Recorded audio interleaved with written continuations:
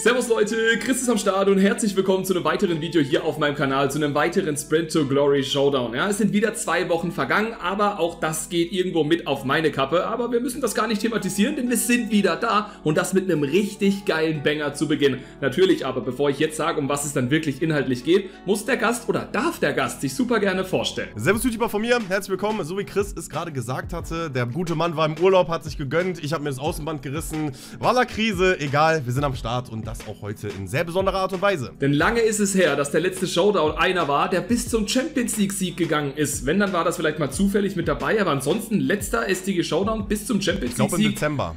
Ja, Dezember, das kann ganz gut möglich sein und dementsprechend schon einige Monate in der Vergangenheit. Heute sind wir wieder zurück und das Ganze nicht nur auf meinem Kanal, sondern auch bei Dennis. Bei mir also ist es der FC Augsburg bis zum Champions League Sieg. Bedeutet, es ist ganz egal, wer wie viele Punkte macht. Der, der eben als erstes die Königsklasse gewinnt, hat auch diesen Showdown dann gewonnen. Auf meinem Kanal dann selbes Prinzip, nur mit dem VfB Stuttgart, das Überraschungsteam schlechthin, neben Leverkusen in der aktuellen Bundesliga-Saison, auch da bis zum CL-Sieg. Link zu Dennis Video findet ihr auf jeden Fall ganz oben in der Videobeschreibung. Ihr seht jetzt auch nochmal ganz kurz das Regelwerk eingeblendet und ansonsten ist es klar. Nichtsdestotrotz, ihr könnt super gerne die Punkte auch mal zählen und das dann in die Kommentare schreiben, denn es kann natürlich sein, dass Dennis beispielsweise die Champions League vor mir gewinnt, ich aber vielleicht die Jahre davor einfach deutlich mehr Punkte geholt hätte in dem normalen Punktesystem. Es gibt auch noch hier einen kleinen Zusatz. Es gibt keine Snipes, aber einen weiteren Bonus für euch, denn wir müssen zwingend einen Spieler aus dem Anfangskader bis zum Ende behalten. Welcher das ist, Dennis und ich haben schon mal gesprochen. Es könnte Demirovic sein. Wenn sich da irgendwas ändert, kriegt ihr das ganze Thema auf jeden Fall mit. Und ansonsten Vollgas. Es wird ein richtig geiler Schauner und das Maximum wird rausgeholt.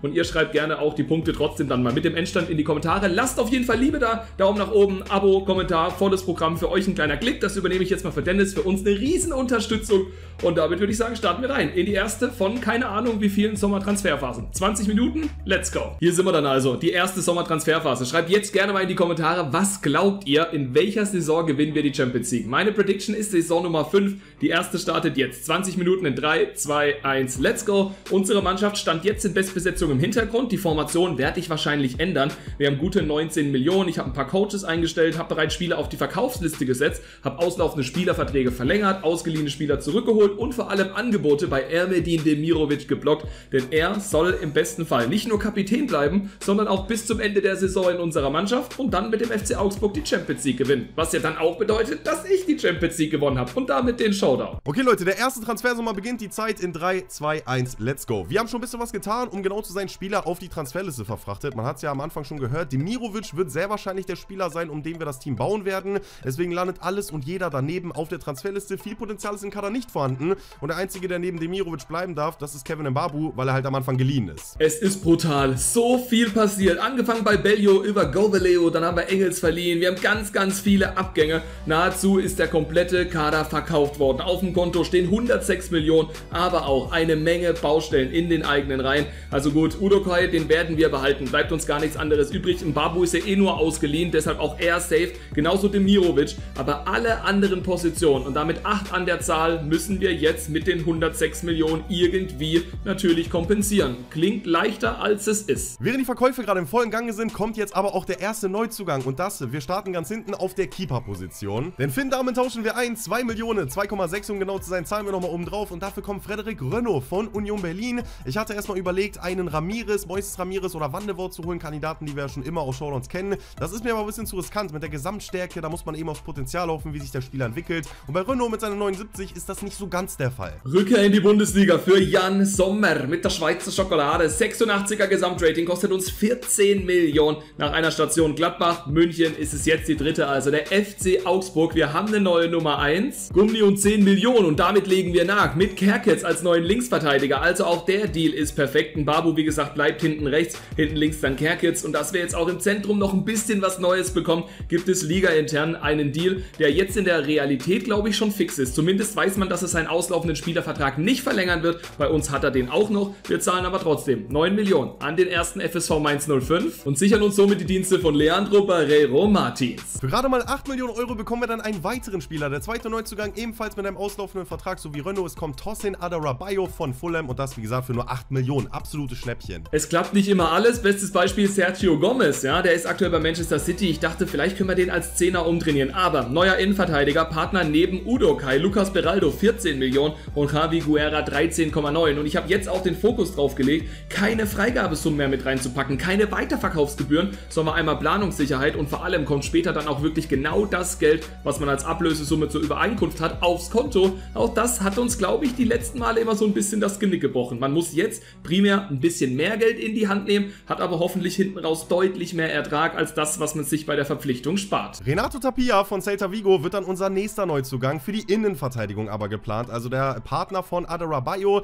ist ZTM von seiner Hauptposition, hat sogar ein Gameface, sehe ich gerade, sehr verrückt auf jeden Fall. Wir planen ihn aber, wie gesagt, in der Innenverteidigung, wo er vielleicht sogar noch mal um eine Gesamtstärke steigen sollte. Und ich hoffe, diesmal liege ich auch richtig. Karrieremodus hat zwar wieder seine Tage, aber sei es drum, Leute, wir lassen uns davon nicht aufhalten. Barrero Martins von den Mainzern soll unser nächster Transfer werden. Ein weiterer Liga-Interner. Wir tauschen Balo ein, den Stürmer aus Kroatien, zahlen nochmal 4, 5 Millionen um drauf und haben dafür ein sehr gutes Talent aus der Liga intern. Ander Barenexia, ich hoffe ansatzweise richtig ausgesprochen. Spanier, ursprünglich aus der La Liga, war hier mittlerweile zu Milan transferiert und jetzt 16,5 Millionen also von Milan zu uns und damit Flügelposition Nummer 1. Und Pedro de la Vega, ein alter Bekannter, was Sprint to Glories aus den letzten 2-3 Jahren angeht. Absolutes Top-Talent, wechselt also jetzt auch. Der 22-jährige Argentinier kostet uns 13 Millionen und komplettiert die Transferplanung auf dem Flügel und vielleicht auch schon unsere ganze, denn es wird zeitlich echt sportlich. Weiter, weiter, weiter, Leute. Keine Zeit verlieren. Milos Kerk ist der nächste von Bournemouth das Ganze. Wir tauschen Iago ein, zahlen nochmal 6 Millionen Euro oben drauf. Selbe Gesamtstärke, aber deutlich mehr Potenzial. Das Drei-Mittelfeld sollte jetzt eigentlich auch stehen. Bestehend aus Barrero Martins, den wir verpflichtet haben, Arne Meyer, der erstmal bleiben darf im ersten Jahr und Samuel Ricci,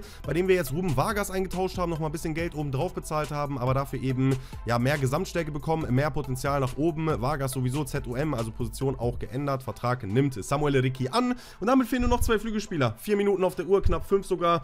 Ey, es sieht nicht schlecht aus, Freunde, ich bin ehrlich. Wird eine ganz enge Angelegenheit, aber nahezu eine Punktlandung. Sergio Gomez ist jetzt dann doch offiziell. Sergio oder Sergio ist ganz egal, wahrscheinlich eher zweiteres. Er kommt also von Manchester City für 11 Millionen. Jetzt machen wir noch ganz kurz das Gehalt fix, ist recht viel, aber der Deal ist damit offiziell. Es ist noch eine Sekunde und wir sind fertig. Let's go. So muss es sein. 20 Minuten, perfekt ausgeschöpft. Jetzt heißt es noch die ganzen Positionswechsel anpassen und natürlich euch sagen, wie wir diesen Deal noch ermöglicht hatten. Wir haben nämlich noch ein paar Spieler verkauft. Breithaupt, Cardona und auch Bauers hingegangen. Die haben wir einfach noch mal ganz kurz sofort akzeptiert, da gar nicht lang rumverhandelt und somit hatten wir eben dann das Geld, um jetzt den Deal von Sergio Gomez und unsere komplette Transferphase am Transfer Deadline Day abzuschließen. Und ich glaube, ich habe keine Position verpasst, denn wenn wir jetzt mal ganz kurz reingehen, sehen wir, dass das unsere Mannschaft in Bestbesetzung ist. Und die kann sich wirklich sehen lassen. Ey Leute, es läuft echt, wie gesagt, unfassbar gut. Pep Biel, ich weiß nicht warum. Ich wollte den überall hin verkaufen. Frankfurt, Freiburg, irgendein Verein aus äh, Florenz, ja, Italien wollte ich gerade sagen.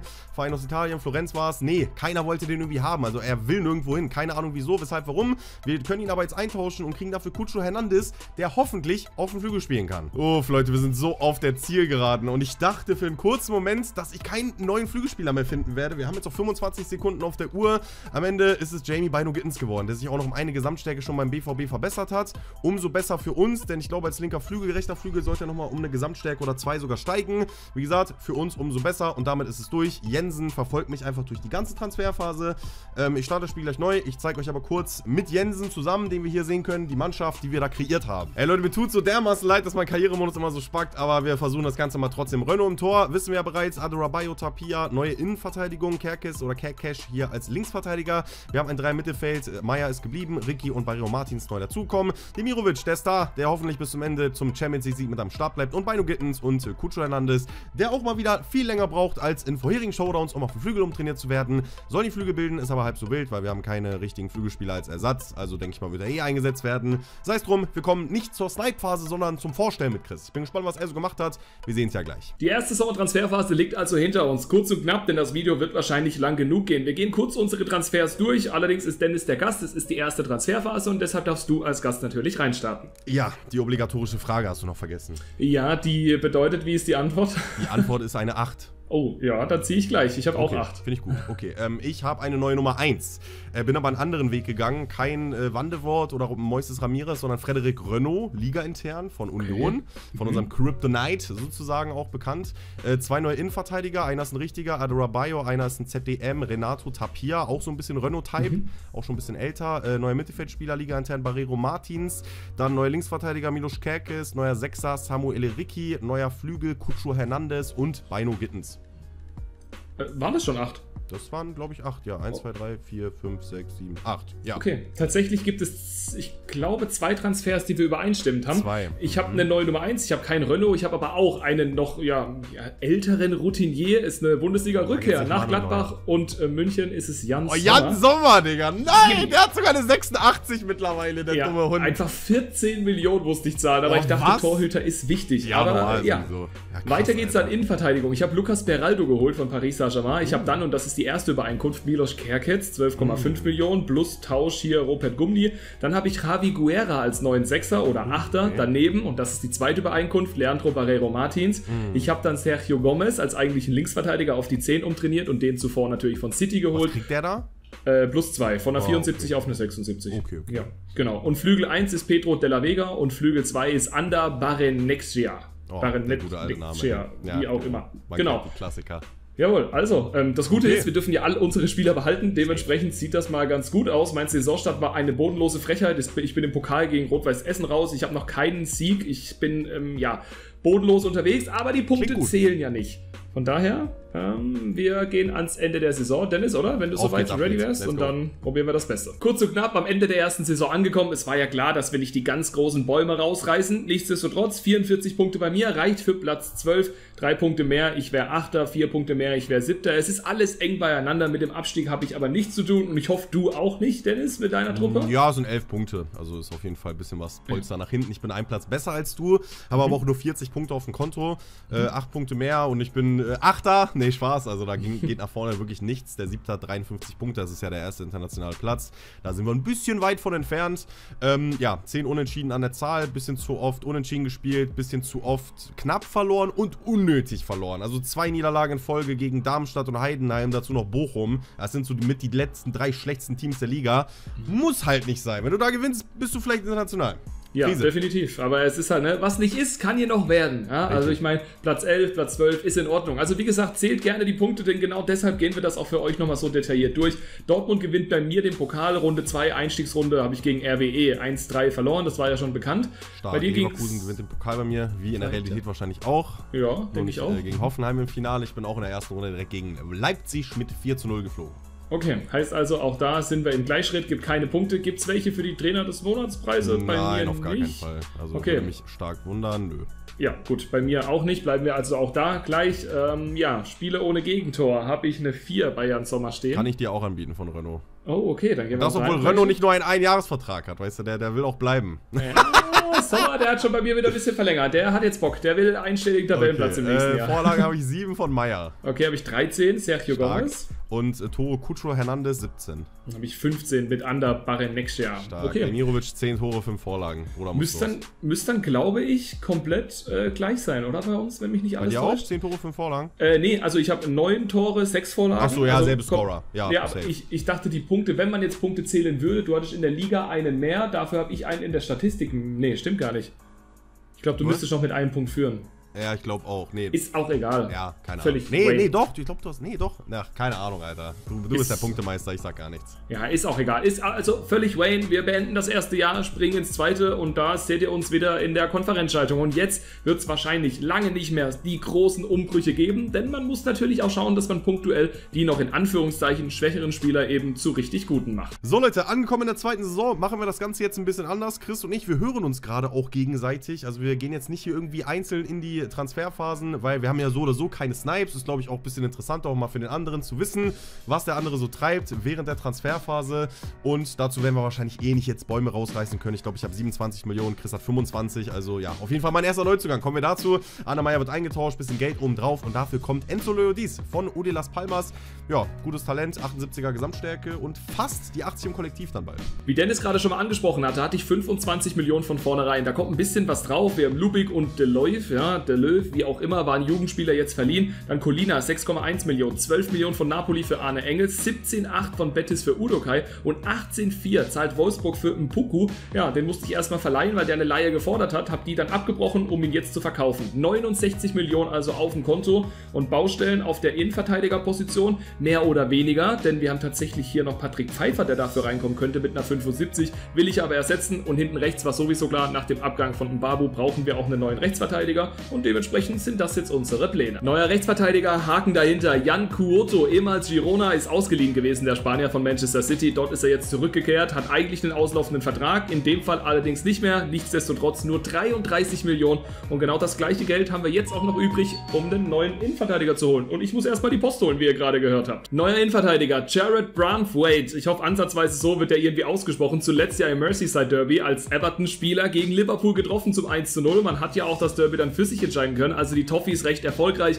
Wir zahlen 26,7 Millionen, profitieren von dem auslaufenden Spielervertrag und haben nach Jan Kuoto jetzt unseren Innenverteidiger beide Baustellen behoben und sind offiziell fertig. Aber Dennis noch nicht. Bei dem geht es jetzt direkt weiter. Zurück am Start also in der zweiten Saison. Ihr habt es nicht gesehen, aber ich war kurz zurückgeworfen durch einen neuen Bug. Also nicht diese komischen Anzeigen mal wieder. Also ich habe einfach das Bug Karrieremodus FIFA EAFC 24 whatever Spiel. Wir holen auf jeden Fall nicht Serginho Dest, bei dem es gebuggt hatte, sondern äh, Jordan, ich kann den Namen schon gar nicht aussprechen, Tetze, Teze, wie auch immer ausgesprochen wird, von der PSW Eindhoven, dem bald amtierenden Meister aus den Niederlanden. Äh, tauschen da noch Robert Gummi ein, zahlen ein bisschen Geld oben drauf, also ein bisschen Geld, 18 Millionen Euro, haben damit auch kein Geld mehr auf Konto, verkaufen will ich niemanden mehr und damit sind wir durch nach zwei Transfers. So Leute, wir sind angekommen beim Spieler vorstellen. Eigentlich müssten wir das ja nicht machen, wenn mein Spiel nicht abgekackt wäre. Also ich habe nicht wirklich viel mitbekommen, was Chris so gemacht hat an Transfers, deswegen er ist jetzt eh dran mit vorstellen.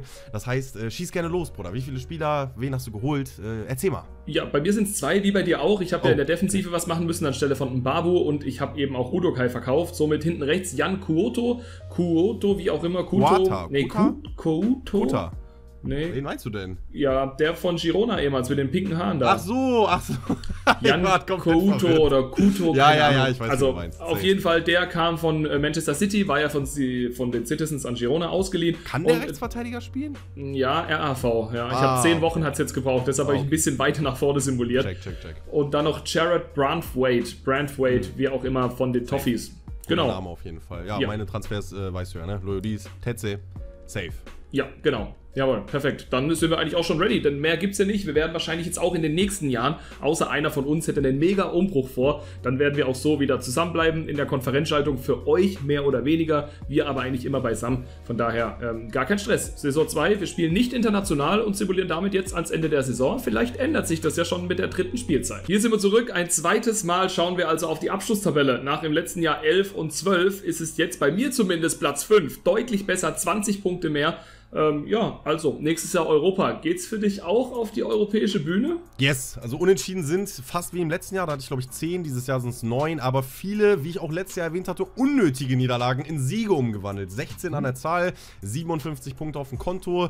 Ja, ab Platz 5 beginnt so die 60er-Punkte-Marke. Da habe ich leider noch nicht viel mit zu tun. Muss doch eher nach hinten gucken. Ein Punkt Abstand auf Wolfsburg, äh, drei auf Hoffenheim. Leverkusen sogar nur 9. Also völlig crazy. Und, mhm. was ich erwähnen wollte, in meiner Bundesliga haben original 24 Punkte gereicht, um die Liga zu halten. Der letzte hat 22, Bremen als, als 17. hat 23, der HSV ist letzter geworden, Mainz mit 23 geht in die Relegation mhm. und Hertha, Heidenheim und Stuttgart haben auf 15, 14 und 13 24, 27 und 29 Punkte. Okay, also das ist echt crazy. Bei mir hat Schalke 23 ganz unten, Hannover 24, Platz 17 und Köln auch 24. Oh, Reicht nicht ganz, um die Klasse zu halten, aber eben für die Relegation. Vielleicht dann doch auch für den Klassenerhalt. Ich habe wie gesagt 64 Punkte, Frankfurt hat 81 und ist damit deutscher Krass. Meister hier bei mir. Ähm, Pokalsieger ist bei dir wer? Weil das macht es ja dann abhängig tatsächlich, ob es für dich nächstes Jahr in die Euroleague oder nur Conference League geht. Ja, tatsächlich, äh, egal ob ich gewonnen oder verloren habe, in dem Fall das Pokalfinale, es wäre so oder so die Europa League geworden, denn der Gegner war der FC Bayern und mhm. die sind ja Meister geworden bei mir, sogar noch dominanter als Frankfurt bei dir, logisch sind ja auch die Bayern.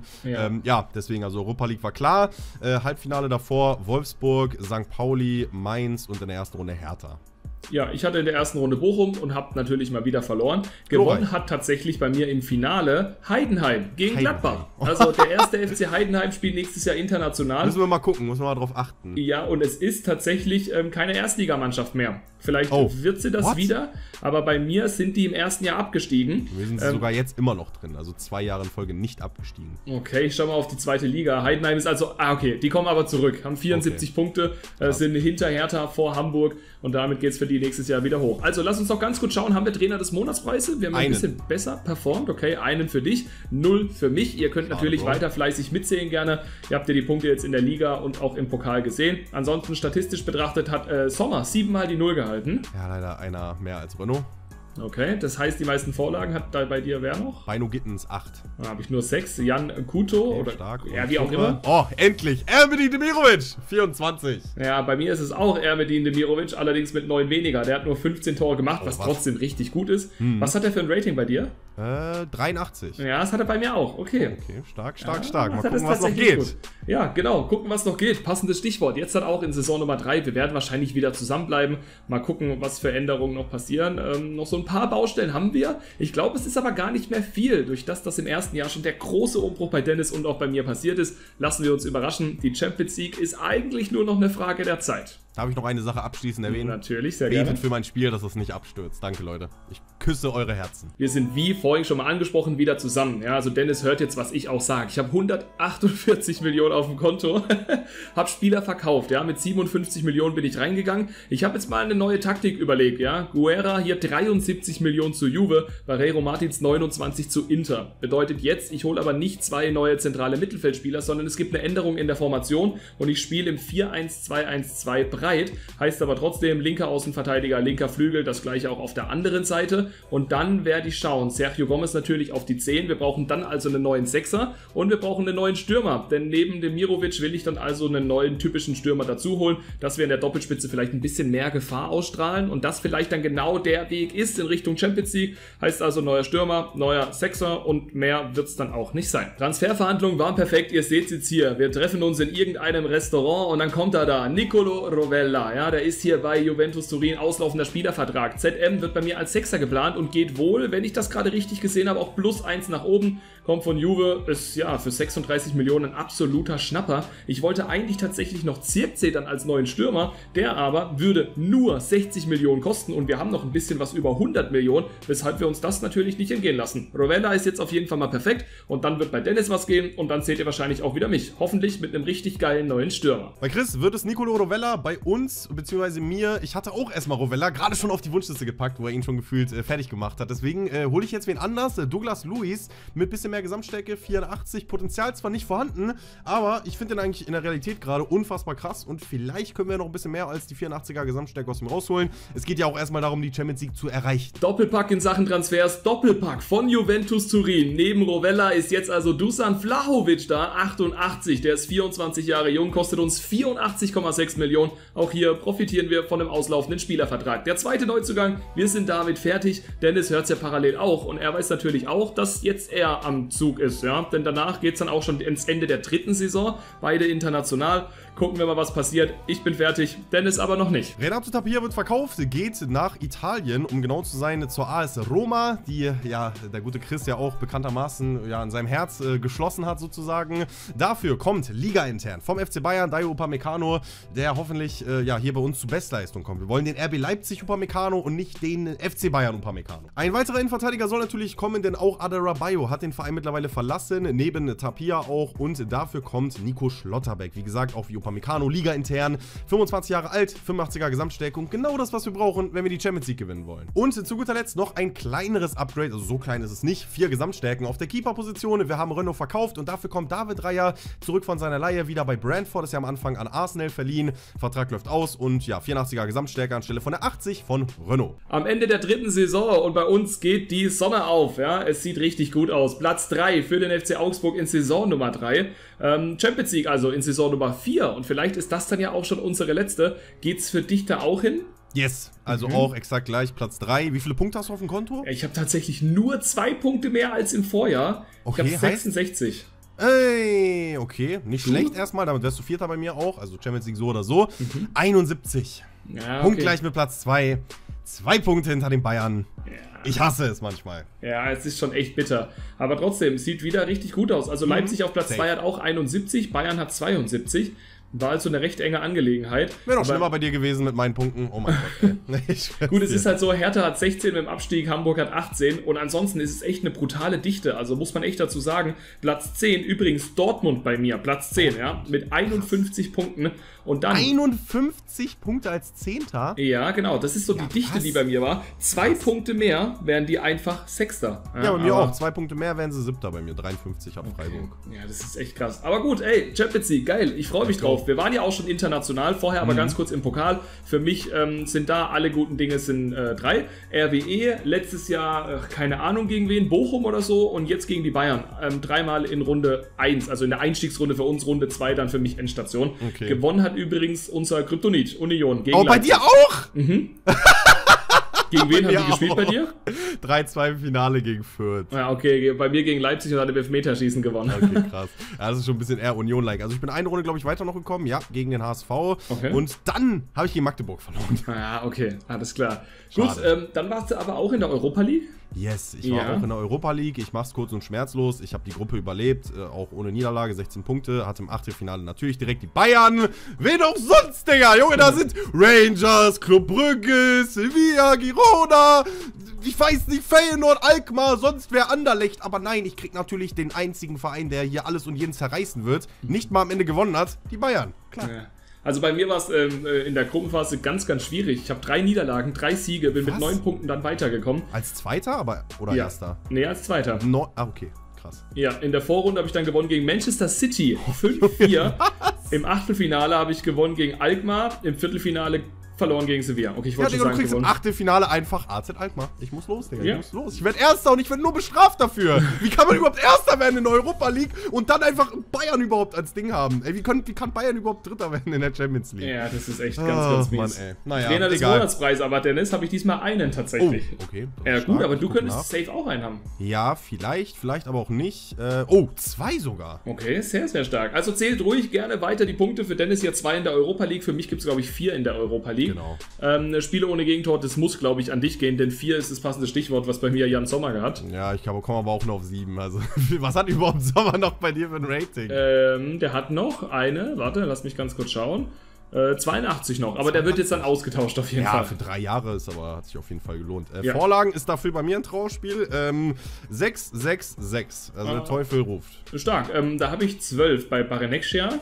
Mhm. Und die meisten Tore, das ist. Ähm, Hat sich ähm, bei mir auch ein bisschen zu doll aufgeteilt. Vielleicht könnte es aber mich gehen. 27. Ich habe 30, du sagst Ja, Mann, ich habe 220 noch danach. Cucho Hernandez und Douglas Luis als Achter. Ja. Einfach 17 Tore in der Bundesliga. Das ist echt krank. Also ich habe De La Vega noch mit 16, ich habe Demirovic mit 17 und auch noch 11 Vorlagen. Flahovic hat aber 30 Tore, 0 Vorlagen. Der war einfach nur fürs Tore schießen da. Mhm. Und ähm, dementsprechend war das ganz gut. Ja? Unsere Mannschaft okay. ist auch mehr als ganz gut. Es gibt wahrscheinlich jetzt noch so zwei, drei Stellschrauben maximal, die man anpassen muss, anpassen wird. Das seht ihr natürlich wie gewohnt gleich wieder. Ich brauche einen neuen Torwart, neuer Zehner, neuer Innenverteidiger gegebenenfalls auch noch. Das seht ihr aber wieder in der Konferenzschaltung, wo Dennis und ich aber eigentlich gar keine Geheimnisse zu verheimlichen haben, weil wir einfach alles ja, zusammen machen werden. Neue Nummer 1. Jan Sommer beendet am Saisonende seine Karriere, wird also noch ein Jahr Nummer 2 bleiben. Dafür kommt jetzt aber Allison für nur 27 Millionen, 32 Jahre alt, 5 Jahre jünger als Sommer, hat ein 89er Gesamtrating und dank einem auslaufenden Spielervertrag Vertrag ist der natürlich extrem günstig. Bei Chris kommt Alisson, bei mir ist es Ederson. Ohne auslaufenden Vertrag, bisschen jünger glaube ich auch noch, auch 89er Gesamtstärke. Wir tauschen Raya ein, der uns nach einem Jahr wieder verlässt, zahlen nochmal knappe 30 Millionen um drauf und haben damit ja eine 89 im Tor jetzt. Nachdem einmal Alisson und einmal Ederson neu in unseren Teams jeweils sind, also einer bei Dennis, einer bei mir, kommt jetzt der neue und wahrscheinlich mitbeste Innenverteidiger überhaupt. Es ist natürlich Ruben Dias, hat eine 90, 29 Jahre alt, auch er mit einem auslaufenden Vertrag, 100 Millionen Mark Marktwert. Wir zahlen 18,5 Millionen weniger als der Ursprungsmarktwert und haben somit jetzt nach Verkauf von Beraldo einen neuen Innenverteidiger neben Branthwaite und brauchen jetzt noch einen neuen Spielmacher, denn Sergio Gomez hat den Verein auch bereits verlassen. Nachdem also in dieser Transferphase Ederson von mir, Ruben Dias von Chris verpflichtet wurden, kommt jetzt noch ein Spieler von Man City. Es ist vielleicht der beste Spieler in der Realität gerade. Und zwar Rodri, einfach der MVP schlechthin bei Manchester City. Wenn der Mann auf dem Platz steht, dann werden keine Spieler einfach verloren bei Pep und City. Wahrscheinlich auch jetzt hier die nächste Meisterschaft. Mit ihm eben auch. Der Bruder als Sechser einfach 20 Scorer, 20 Torbeteiligungen in der laufenden Saison. Unfassbar krass. 92er Gesamtstärke. Let's go. Liga-interner Transfer. Vom einen Spanier Rodri geht es jetzt zum anderen. Von RB Leipzig wechselt Dani Olmo also jetzt hier zu uns zum FC Augsburg. Und damit sind wir fertig. Komplettieren beide unsere Sommertransferphase 4.0 müsste das sein. Spielen beide auch in der Champions League und schauen da natürlich gleich mal, wie es gelaufen ist. Ja, wir werden uns jetzt nicht mehr zusammensetzen, denn ihr habt die Transfers natürlich schon gesehen. Dennis meine, ich auch seine. Und wir gucken mal. Wir simulieren jetzt mal im Kalender. Soll es dann irgendwann richtig spannend werden und wir wären in der Champions League recht weit, melden wir uns auf jeden Fall wieder. Denn das Potenzial dazu haben wir auf jeden Fall. Verstecken brauchen wir uns beide nicht. Wir starten rein. Vielleicht in ein allerletztes Mal jetzt die ganzen Wettbewerbe durchschauen, denn ähm, ja, ich verrate es noch nicht, aber gleich dazu mehr. Ja, was soll ich sagen? Also ich habe mit Abstand die meisten Punkte, die ich bisher einfahren konnte. Also neun mehr als letztes Jahr. Da hatte ich 66, jetzt habe ich 75 und es reicht tatsächlich auch für die Meisterschaft. Ähm, damit ist der FC Augsburg deutscher Meister. Dennis, kannst du das gleiche auch vorweisen? Ich kann das gleiche vorweisen. Fünf Punkte mehr sogar als du. Kleiner Boah, virtueller Schwanzvergleich. 80 ja. Punkte, 14 vor Leipzig. Die sind Zweiter geworden. Äh, Bayern auch mit 56 Punkten mal easy Vierter geworden.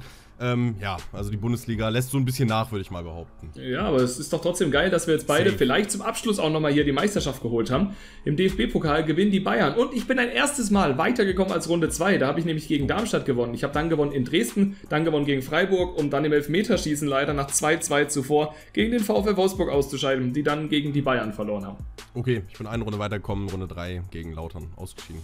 Okay, also ich glaube, ich hole so ein paar Punkte auf. Also zuletzt, glaube ich, warst du in Sachen Punkten auf jeden Fall vor mir, hätte ich gesagt, wenn man denn Punkte zählen würde. Aber naja, es geht ja jetzt viel mehr um die Champions League. Und genau das ist das, was ich schon mal so ein bisschen angeteasert hatte. Wir stehen beide im Champions League-Finale nach erstmaliger Teilnahme. Aber ich meine, okay, es gehört irgendwo immer Glück mit dazu. Und wenn ihr gleich unsere Werdegänge seht, dann wisst ihr, dass es mit Glück gar nicht so viel zu tun hatte. Denn wir hatten gefühlt die mitstärksten Mannschaften, die man bekommen kann. Wirkliches Glückslos gab es nicht. Und wir haben eben halt auch Mannschaften, wo das jetzt nicht ganz so überraschend kommt. Ich hatte eine Gruppe, Dennis, da können wir vielleicht mal durchgehen. Mit Atletico, yes. mit dem RC Lens und mit den Young Boys. Ich habe alle sechs Spiele gewonnen. Stark. Also ich hatte Arsenal, Rangers, Galatasaray. Äh, Arsenal war mein Kryptonit, habe mich zweimal geschlagen, leider Gottes. Und dann Platz 2 mit 12 Punkten, oder was nee, war das? 10 an der Zahl. Ja, Ein Unentschieden auch noch eingefangen zum Ende, aber das hat trotzdem locker gereicht. Vier ja. Punkte vor den Rangers. Das ist ja das Wichtigste, ne? Solange das Richtig. reicht und wir stehen im Achtelfinale, was ja geklappt hat, das sehen wir dann auch hier. Äh, ich hatte dann Manchester City und ich habe im letzten Jahr in der Vorrunde der Europa League schon gegen City gespielt und habe da schon genau das gleiche Gesamtendergebnis abgeliefert. Ich habe 5-4 gewonnen gegen die Citizens. 5-4, ey, krass. Okay, ich hatte Liverpool, mhm. da hatten wir auch drüber geredet. Augsburg, Liverpool gab es ja auch mal in der Europa League, schon zig Jahre her, mit ganz anderen Spielern noch, Trainer und so weiter. Klopp gerade angefangen gefühlt bei Liverpool. 4 zu 2 gewinnt da aber der FC Augsburg. Ich glaube, in der Realität ist ja Liverpool damals ganz knapp weitergekommen. Ja, genau, da, da war irgendwas. Also Liverpool war bei mir auch im Achtelfinale. Die haben auch gegen ein deutsches Team, gegen Leverkusen gespielt, haben einfach 4-1 verloren im Achtelfinale Stark, direkt. Alter, heftig. Dann Viertelfinale. Ex-Verein kaputt. Viertelfinale ja, hat Arsenal Ja, Arsenal, mhm. mein toller Gruppengegner. 2-1 in der Gruppe verloren, jeweils heim und auswärts. Okay. Und aber zum Glück hier, äh, ja, 3-0 das Rückspiel gewonnen. Das war der Key to the Kingdom sozusagen. Okay, das ist sehr, sehr stark. Ich habe 3-2 gegen Paris gewonnen. Äh, Hinspiel im Parc de Prince 2-1 und dann das Rückspiel in der WWK-Arena war ein 1-1. Ähm, parallel gab es hier ähm, richtig geile Duelle. Abgesehen von uns, also Augsburg gegen Paris, waren es immer jeweilige Länderduelle. Real gegen Atletico, Derby, Leverkusen gegen Bayern und Juve gegen Inter. Also ähm, ganz geil. Im Halbfinale damit dann zwei deutsche Teams. Und da habe ich dann mein erstes direktes deutsches Duell gegen die Bayern und habe mich mit 2 zu 1 durchgesetzt. Und du ja, ich hatte Real Madrid, äh, ja. anderes Spiel Paris, Barcelona. Ey, Krise des Todes, 4 zu 4 Gesamtergebnis. Wow. Und dann gewinnen wir aber Elfmeterschießen gegen die Königlichen, äh, die eigentlich die Weltmeister sind in sowas. Wir haben es ja gesehen gegen City, jetzt auch vor kurzem im Viertelfinale. Ja, Finale jetzt äh, gegen Paris Saint-Germain bei mir. Die haben sich gegen Barca durchgesetzt und ich habe ein bisschen Angst vor Mbappé, wenn ich ehrlich bin. Ja, also ich habe ehrlich gesagt, glaube ich, ein bisschen bessere Karten, aber man darf ja eh keinen Gegner schon gar nicht in einem Champions League-Finale auch nur ansatzweise unterschätzen. Ich muss aber gegen Inter ran. Ja, Digga, ich unterschätze die komplett. Du wirst die wegmachen, ganz ehrlich. Ich hoffe, ich hoffe aber Inter hat ja einfach gewonnen gegen Real. Die haben gewonnen gegen Juve und gewonnen gegen Arsenal, ne? Also, ja, okay, das ist auch immer. Die sind nicht ohne Grund im Finale, ne? Äh, Sagen wir es mal so. Auf jeden Fall. Bevor wir aber gleich dann noch in die parallele Simulation reingehen, lass uns doch ganz kurz schauen. Trainer des Monatspreise habe ich eine 3 vorzuweisen in diesem Jahr. Okay, das ist stark. Ich kann dagegen eine, ja, 0 vorweisen. Ja, okay, das 80 Punkte geholt. Kein Trainer des Monatspreis. Logik mal wieder nicht vorhanden. Einfach, einfach deutscher Meister geworden mit noch mehr Punkten als bei mir und vor allem jetzt vielleicht sogar gleich das Double mit der Champions League ja auch noch. Ja, egal. Sei es drum. Muss man nicht Tore, verstehen. Spiele zu 0. So rum. Äh, sechs Vorlagen übrigens von Ederson habe ich noch nie in meinem Leben gesehen. Drei in der Champions League, drei in der Bundesliga Mhm. Der und 40 Champions Spiele zu 0. Ja, Krank. Also ich habe auch zwei Vorlagen bei alles und ich habe 17 Spiele zu 0 bei ihm. 17 ist stark. Egal, sechs Vorlagen zählt quasi. Das sind sozusagen 30 Spiele zu 0. Das ist echt brutal. Ähm, ja, viele Leute meinten ja, wir sollen das mit reinnehmen, aber ich weiß halt nicht, was wir da mit reinnehmen sollen. Und das ist ja eh so ein Faktor, den man kaum bewerten kann. Mal Ja. gibt's Vorlagen, mal nicht. Äh, Vorlagen ist ein gutes Stichwort. Äh, Mhm. Rodri ist bei mir der mit den meisten mit 13. Ah, habe ich einen weniger, habe ich 12. Ja, let's go. Äh, Tore bei mir auch wieder ein bisschen sehr aufgeteilt. Demirovic 18, Kucho Hernandez 22, Douglas Luis 23. Ja, okay. Ich habe 20 Olmo, 21 Demirovic, 26 Vlahovic. Ja, Vlahovic, ey, das ist auch ein richtiger äh, Goalgetter. Hat er überhaupt mal wieder, hat er eine Vorlage gemacht? Äh, ich glaube, diesmal hat er ein paar gemacht. Lass mich ganz Oh, kurz schauen. okay, Statistik. Ja, zwei Vorlagen. Demirovic Oh, 21 zwei Tore, Vorlagen. sechs Vorlagen. Hat eine 87. Aber wir gehen gleich, würde ich sagen, noch ganz kurz auf die Ratings ein. Safe. Oder wollen wir das jetzt machen und dann erst ins Finale Nee, gehen? lass erstmal ins Finale gehen. Ich, Okay. Wobei, vielleicht, äh, wobei Trümmerbruch vielleicht nach Fina verlorene Finale. Nein, lass jetzt die Mannschaften vergleichen. Alles klar. Dann kommen da gehen wir ganz kurz rein. Auf der Torhüterposition Ederson gegen Alisson. Ich habe eine 90. Ich habe auch eine 90. Okay, stark. Dann Viererkette bei dir? Viererkette, yes, habe ich Kekes 87, Schlotterbeck, Upamecano auch 87, Tetze leider der schlechteste mit nach 85. Okay, ich habe Kerkitz auch 87, ich habe Braunthwaite 87, ähm, Diasch 91 und Koto oder Kuto, wie auch immer, hat eine 88. Ah, okay, auch stark. Dann Dreier Mittelfeld, Rodri 93, äh, Ricky 90, Douglas Luis 87. Ich nehme Rovella, ich nehme äh, Barenexia und Della Vega und die haben alle eine 89. Okay, stark. Dann Dreierangriff bei mir, 88 Demirovic, 88 Beino Gittens, 91 Kucho Hernandez. Ja, okay, Demirovic ist echt krass, dass der bei dir einfach eine 88 hat. Bei mir nur in Anführungszeichen eine 87. Boah, viel, viel schlechter, Alter. Der Ja, kann ja bei nee, dir kein, aber- der kann nicht mal gerade ausgehen bei dir. Aber was hattest du am Anfang gesagt? Der hat ein 81er Potenzial 81er ursprünglich. Potenzial. Also richtig durch die Decke gegangen. Das seht ihr mal, was passieren kann, wenn man auf die Spieler setzt. Olmo noch mit einer 88 und Vlahovic mit einer 91. So. Ja, okay, stark. Also ich würde sagen, im Großen und Ganzen sehr ausgeglichen. Kleine Vorteile bei mir, kleine Vorteile bei dir. Gerade so ein Dia schon so, der holt da natürlich nochmal ordentlich Rating raus mit so über 90. Aber Ja, safe. ja, beide Mannschaften vollkommen verdient im Champions League Finale, ne? Soll man sagen. Ja, definitiv. Und ich würde sagen, da können wir jetzt dann auch gleich rein, oder? Ja, safe, sehr, sehr gerne. Also, komm schon, let's go. Bevor wir jetzt dann gleich reingehen, zwei Dinge. Erstmals, wir schauen jetzt dann auf unsere Gegner. Und der zweite Punkt kommt gleich erst danach. Also, Dennis, ich nehme schon mal vorweg, ich weiß es ja nicht, aber irgendwie sehe ich mich gegen Inter als absoluten Top-Favorit. Ja, was habe ich denn gesagt, Digga? Willst du mich Ja. verarschen oder was? Ja, aber ich meine, die sind ja nicht zu Unrecht irgendwo da, ne? Aber die haben Chevalier im Tor, Oh die haben De Frey, Bastoni, Scalvini. Dann haben sie Adeyemi, Gnabry, Kökçü, Agume, Gavi, Lautaro und Brian Brobe. Ach Gott, Alter. Okay, ja, ich habe einmal Mbappé, vor dem ich Angst habe bei Paris. Aber, meine Freunde, ich habe auch Angst vor Robertson als Linksverteidiger. Dem Dreier-Mittelfeld bestehend aus Vitinha, Bernardo und Gavi. Und vorne spielt neben Mbappé auch Phil Foden und Takefusa Kubo. Ich habe noch nie gesehen, dass Phil Foden Man City verlassen hat in einer Karriere. Das stimmt, ja. Schon 1000 Karrieresimulationen aufgenommen bis 2048 oder so. Der ist da immer noch bei City. Hier nicht. Ja, Digga, ich muss los, Alter. Also ich hab gen genau das, was ich denke, passiert. Paris ist der Favorit und bei dir ist halt Inter, Digga.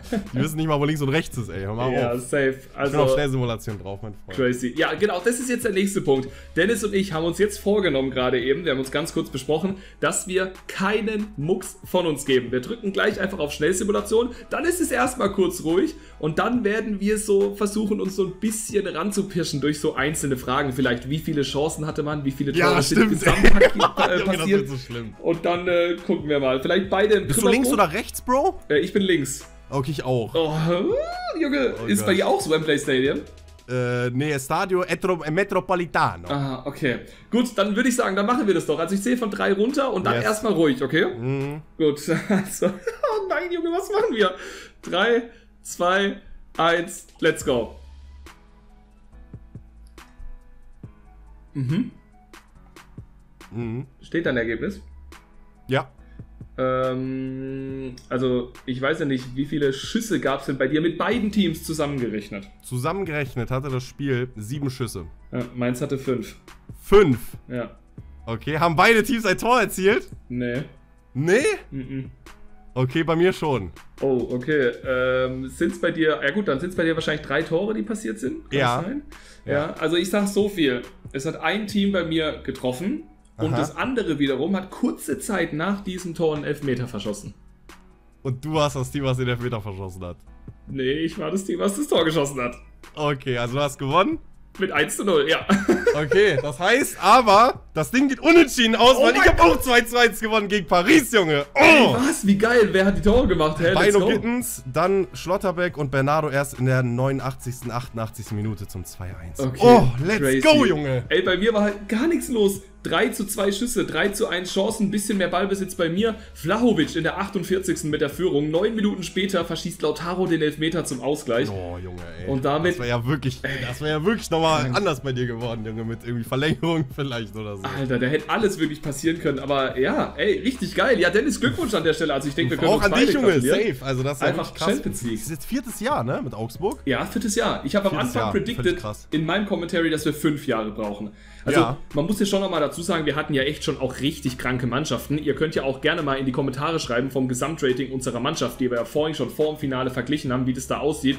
Aber dass dieses beide vor allem im ersten Anlauf in der vierten Saison mit Augsburg schaffen, ich glaube, das hätte Krass. so niemand predicted. Also würde ich jetzt einfach mal behaupten. Ja, Safe, 100%. also richtig, richtig geil. Aber David, sind wir jetzt offiziell am Ende angekommen und es war mal wieder ein richtig geiler Showdown. Man musste nicht irgendwie snipen, man konnte komplett alles in die Waagschale werfen und wurde dafür recht früh jetzt dann auch belohnt. Wir hoffen, euch hat das ganze Thema gefallen. Wenn ja, dann lasst super gerne natürlich einen Daumen nach oben da, positive Bewertungen, ja, einen Kommentar für den Algorithmus, genauso aber weitere Vorschläge für STG Showdowns, Teamvorschläge, vielleicht auch Challenges und so weiter und so fort. Und um nichts mehr zu verpassen, kostenlos abonnieren, ja. Ich bin auf jeden Fall jetzt erstmal raus. Checkt das Video bei Dennis ab. Erster Link in der Videobeschreibung. Der darf gerne jetzt noch ein bisschen Eigenwerbung betreiben, denn der hat das Schlusswort für euch. Yes, Leute, checkt gerne auch den ersten Link in der Beschreibung aus. Da geht es zu meinem Video bis zum Champions League Sieg mit dem VfB Stuttgart. Ist auch die erste Aufnahme gewesen. Das heißt, hier das Ganze, äh, die zweite Aufnahme eben. Ich fand es auch super geil, gerade dieses Nicht-Reagieren auf das Ergebnis. Also, das ist, glaube ich, eine Sache, die wir vielleicht immer einführen in diesen speziellen Showdowns bis zum Champions League Sieg. War super witzig. Und ja, war auch insgesamt ein sehr geiles Video. Wie gesagt, auf meinem Kanal, wenn ihr rüberkommen seid, Liebe da lassen.